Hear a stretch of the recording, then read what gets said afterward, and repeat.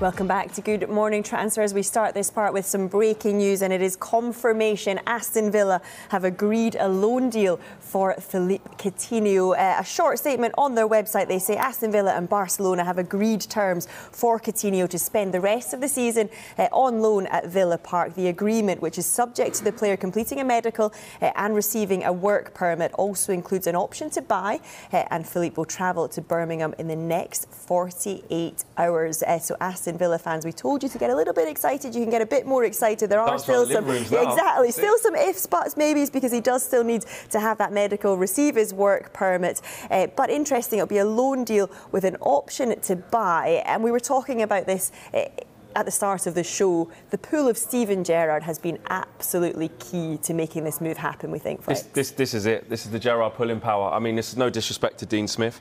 Um, I think if he's still there, I don't think he has a chance of, of getting Philippe Coutinho. I mean, th- there are talks of, of, of how far off he is from his best. I understand that. Um, but the fact that Steven Gerrard's there, he, he, spoke about. I mean, Bridgie spoke about it in the press conference. He almost gave it away. Um, you, you, knew what his intentions were. He's played with him already. He knows exactly what he's capable of.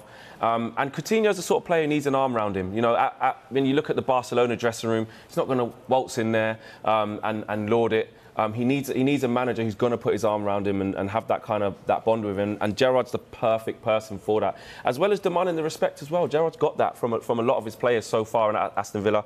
If I was an Aston Villa fan right now, I would be very very excited. I spoke to some some of them this morning. I've got a few friends who are Aston Villa fans. They said to me, Flex, brilliant, absolutely fantastic. And you look at it post Grealish, and you look at you know that 100 million that they got for Grealish and the squad that they're, that they're assembling. It looks exciting. Imagine the likes of Philippe Coutinho supplying Ollie Watkins, Danny Ings making runs off the channel, Buendia trying to get involved as well where he can, and you've got now McGinn and the Grease. Do you know what I mean? It's, it's, yeah. it's really exciting. So if it, if it works, fantastic. And actually, you're mentioning Villa fans being excited, but actually, fans of the Premier League are excited because on Twitter, people getting involved using that hashtag transfer talk. Tom says, I'm a Liverpool fan, but to see Philippe Coutinho back in the Premier League makes me happy. He says, I'm sure he's not quite the player he once was for us, but that is a heck of a signing uh, when it comes through. And then we've got a Manchester United fan, uh, Adam, saying the Coutinho deal to Villa, great for the Premier League. If he can even be half the player he was at Liverpool, then Villa will be a great watch this I bet when Villa, but when Villa come to Old Trafford, he'll get booed, though.